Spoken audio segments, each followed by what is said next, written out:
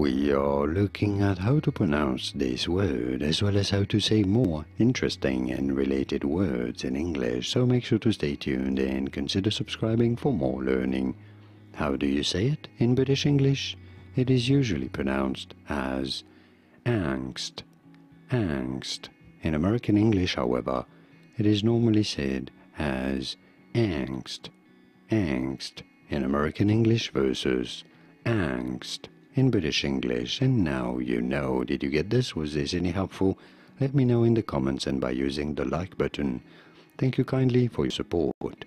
More videos on how to pronounce more interesting words in English whose pronunciations aren't always obvious. I'll see you there to learn more.